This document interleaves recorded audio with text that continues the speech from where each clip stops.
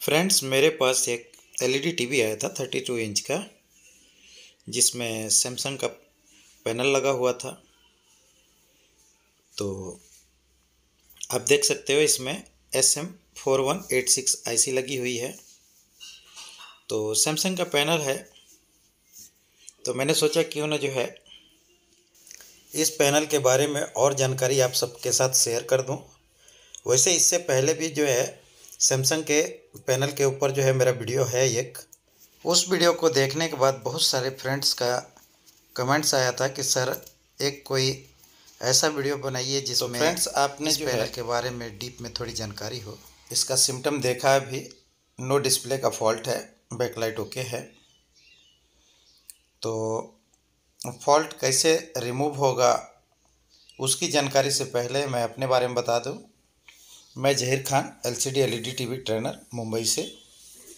Friends मैं मुंबई में Z M institute के नाम से क्लासेस चलाता हूँ, जिसमें L C D L E D T V की ट्रेनिंग देता हूँ। और वो बहुत ही कम समय का कोर्स रहता है। आप चाहें तो मुझसे L C D L E D T V की ट्रेनिंग ले सकते हैं। अगर आप L C D L E D T V की ट्रेनिंग लेना चाहते हैं तो मुझे कॉल कर सकते हैं। और फ्रेंड्स आप सबके लिए गुड न्यूज़ है।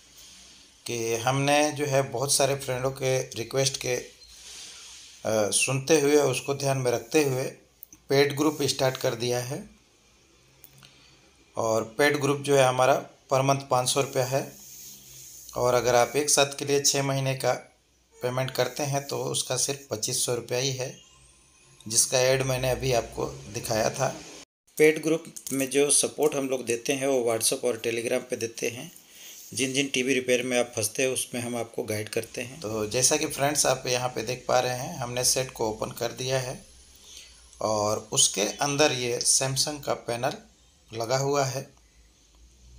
तो इस पैनल में किस साइड में शॉर्टिंग है और वो सेटिंग शॉर्टिंग कैसे रिमूव होगा, वो मैं आपके साथ अभी इस वीडियो में शेयर करूँगा।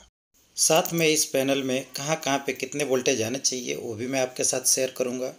तो फ्रेंड्स, ये पैनल का नंबर है। नंबर आप यहाँ पे देख सकते हैं। और ये पैनल जो है, अभी बहुत ही ज़्यादा मार्केट में चल रहा है। हमें हर दो चार दिनों में जो है ये पैनल कोई ना कोई सेट में देखने को मिलता है, थर्टी टू इंच में। और आप देख सकते हैं। ये सिंगल कॉफ का पैनल है और इसके अंदर जो आईसी यूज़ हुआ है, उस आईसी का नंबर भी मैं आपको दिखाता हूँ। यहाँ पे देखिए सी के भी सब लिखा हुआ है, स्केलर के ऊपर ही।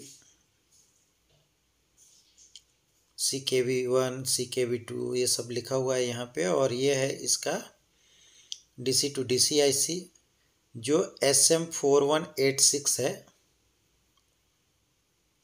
तो फ्रेंड्स, आज हम इसी पैनल का थोड़ा डीप में जानकारी शेयर करेंगे आप सबके साथ। ये एक साइड का सी के वी लाइन है। ये गेट लाइन है एक साइड का, राइट साइड का और ये दूसरा है लेफ़्ट साइड का। तो आपको मैं थोड़ा नज़दीक से सी के भी लाइन दिखा रहा हूँ, ताकि फ्यूचर में अगर आपसे सी के भी लाइन कट करते समय अगर ट्रैक अगर कटने के बाद से बराबर न दिखाई दे तो आप इस वीडियो के माध्यम से भी आप देख सकते हैं और अपना सी के बी लाइन को वापस रिज्वाइंट कर सकते हैं। कभी कभी होता ऐसा है कि फॉल्ट लेफ़्ट साइड में हो और कटिंग राइट साइड में हो जाती है और कभी राइट के बदले लेफ़्ट साइड से हो जाती है। तो ये तो कट करने के बाद ही पता चलेगा आपको कि फॉल्ट लेफ़्ट में था या राइट में, लेकिन अक्सर आपको जो है, इस डिस्प्ले में दोनों तरफ़ सी के बी लाइन में फॉल्ट देखने को मिलेगा। तो फ्रेंड्स यहाँ पे आप देख सकते हैं कि 12 वोल्ट आपको जो है, इस डिस्प्ले में मिल रहा है, लेकिन यहाँ पे वी वन जो है, वो ज़ीरो दिखा रहा है। इसका मतलब ये है कि 12 वोल्ट पैनल को तो जा रहा है, लेकिन बूस्ट नहीं बन रहा है। तो आप नज़दीक से देख लीजिए, यहाँ पे कि जो वी वन है, उस पर आपको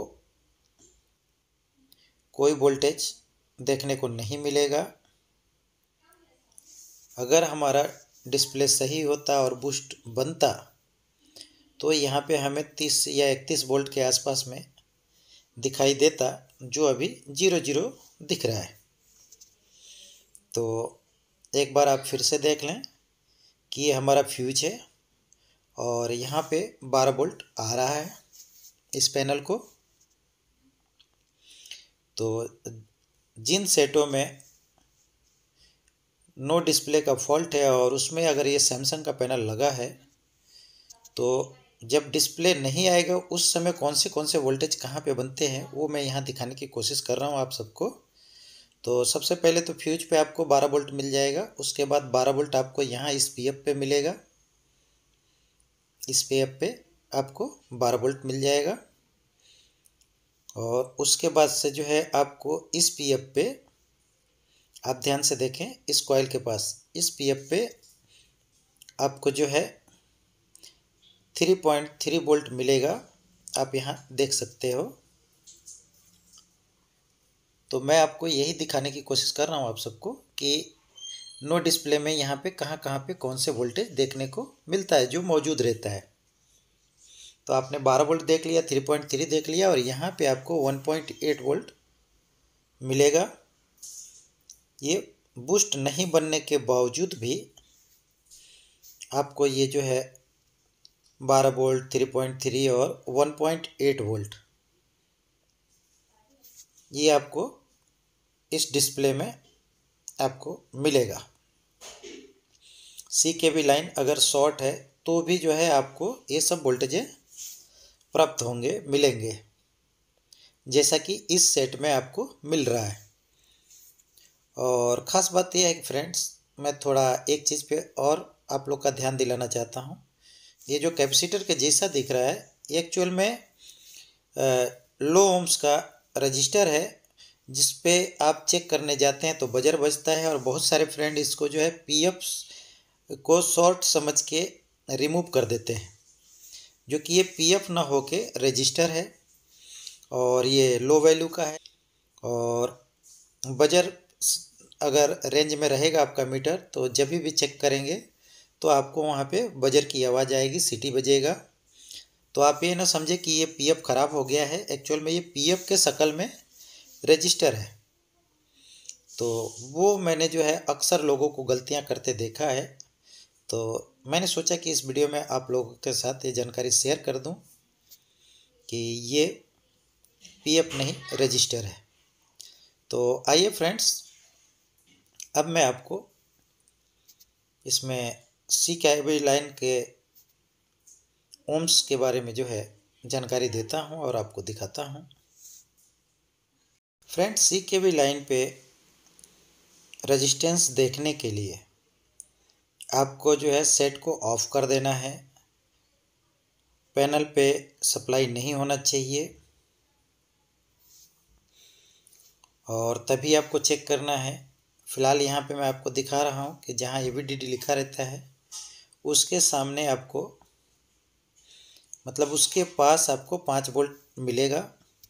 जो कि ये बूस्ट बनेगा तो भी उतना ही मिलेगा और बूस्ट नहीं बनेगा तो भी उतना ही मिलेगा। डी जहाँ लिखा है, ठीक उसके ऊपर आपको पाँच वोल्ट मिलेगा और उसके बगल में आपको ए की सप्लाई मिलेगी। जहाँ पे दो पीएफ लगा हुआ है, ये आप देख सकते हो। तो फ्रेंड्स ये तो हो गया कि बूस्ट अगर नहीं बन रहा है आपका सैमसंग पैनल में तो कहाँ कहाँ पे कौन सा कौन सा वोल्टेज आएगा, वो मैंने आप सबको दिखा दिया। अब उसके बाद आपको दिखाता हूँ कि गेट लाइन को स्क्रैच कर लेना है और स्क्रैच करने के बाद से आपको जो है सी के वी वन और सी के वी बी वन पे जो है आपको जो है मीटर का प्रोप रखना है और देखना है कि आपको वहाँ पे कितना ओम्स शो हो रहा है। तो जैसा कि आप देख पा रहे हैं, इसमें जो है तीन सौ पंद्रह ओम्स मीटर में आपको रीडिंग दिख रहा है। तो हमारा सी के वी वन और सी के वी बी वन में जो है शॉर्टिंग है, जो 315 ओम्स का है।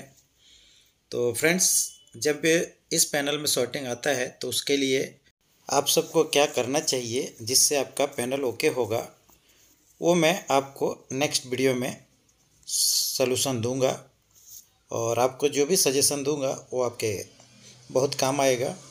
तो फ्रेंड्स आप अगर इस चैनल को सब्सक्राइब नहीं किया अभी तक तो सब्सक्राइब कर लें। साथ में बेल आइकन को प्रेस करके आल नोटिफिकेशन सेट कर लें, ताकि मेरा आने वाला हर वीडियो आपको देखने को मिले। और सबसे पहले देखने को मिले।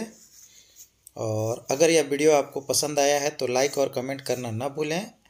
और इस वीडियो को आप अपने फ्रेंड सर्कल में भी शेयर करें। जो भी ग्रुपों में आप रहते हो, उन सब ग्रुपों में शेयर करें। Thanks for watching friends